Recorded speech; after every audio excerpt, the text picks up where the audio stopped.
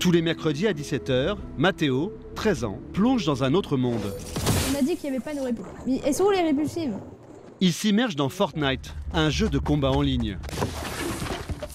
Donc on reprend pas nos armes. hein. Avec son cousin et un copain, ils forment une équipe pour tuer des ennemis. Il a son avatar, Maxou, je t'ai mis une belle tête quand même. son personnage virtuel. Chaque joueur en a un. Moi, je suis celui du milieu. Lui. Donc là, c'est euh, bah, Maxence et là, c'est euh, mon cousin Alex. Je joue bah, le mercredi et le week-end. Je joue pas mal. On va dire deux heures minimum, quoi. Tout le monde joue, j'imagine, dans ta classe? Ah oui, pratiquement, ouais. Sauf les filles qui n'aiment pas ce jeu, mais... Et pourquoi? Bah, c'est un peu guéguerre comme jeu, donc euh, ils aiment pas trop ça. J'ai fait une chute fatale. Fortnite est un jeu en univers persistant.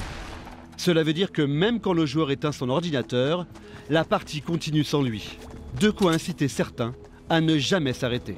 J'ai des amis, c'est bah, pratiquement tous ceux qui jouent à ce jeu jouent pendant des heures. Sans, s'arrêter. Ils jouent très tard le soir. Euh, même pendant les vacances, ils peuvent faire des nuits blanches de ce jeu-là. Mathéo ferait peut-être comme eux si quelqu'un, un étage plus bas, ne veillait pas au grain. Mathéo Tu viens avec moi sortir les chiens Sa mère, Gwen, limite son temps de jeu. Dans combien de temps? Les mercredis et week-ends, Mathéo, dans combien de temps plaît c'est deux heures, pas plus. Dans 10 minutes, tu viens avec moi? Je le trouve raisonnable, c'est-à-dire que quand je lui dis stop, il arrête. À 10 minutes près, il arrête. Mais j'aimerais qu'il ne joue pas du tout.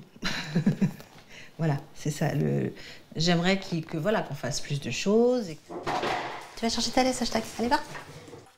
Gwen a posé un cadre strict. Mathéo n'aura plus le droit de rallumer son ordinateur de la soirée. À 21 ans, il ne voit quasiment personne. Le jeu vidéo occupe toute sa vie. Il est devenu complètement accro. Cela fait trois heures qu'il est derrière son ordinateur. Et il ne s'arrêtera qu'au milieu de la nuit, au plus tôt. Ça, c'est du café.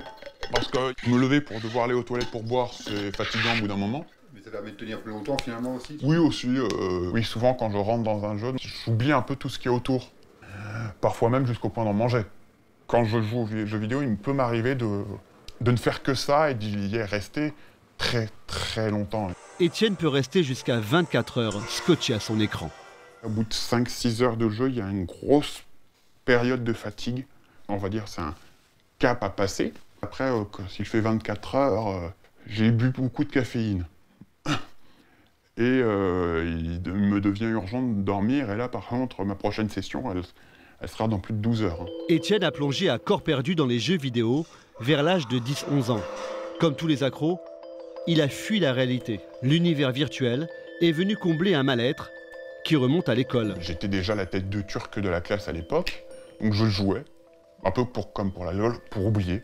Parce que j'étais bien en jouant aux jeux vidéo, tout le reste mettait en pause, et, euh, petit à petit, je me suis mis à préférer le monde des jeux vidéo plutôt que bah, la, la vraie vie, on va dire.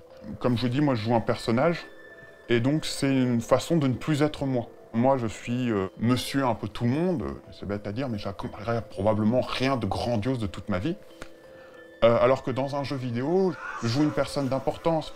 On va jouer le commandant Shepard, sauveur de la galaxie.